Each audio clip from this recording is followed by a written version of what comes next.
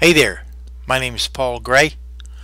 Tonight I wanted to connect my Alexa device to my Honeywell Wi-Fi thermostat.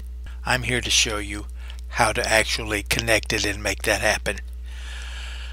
Just go to the Amazon Alexa webpage, make sure you're logged in, and click on Skills on the left hand side. Once you click on skills, type in your thermostat name. In my case, it would be Honeywell. Click on my thermostat, and because I already have it uh, installed, my only option is to disable.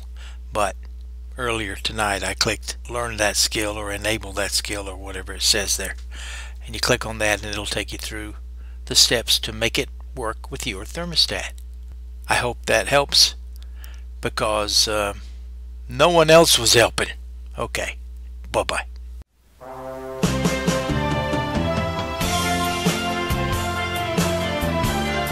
Oh,